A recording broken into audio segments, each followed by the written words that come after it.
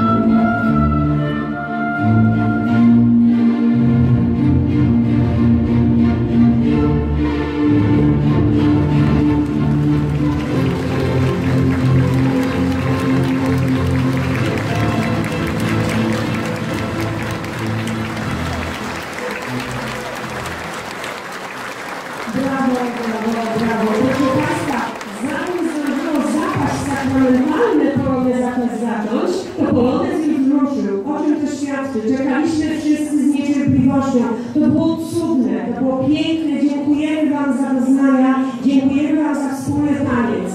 Jeszcze raz brawa ogromne dla naszych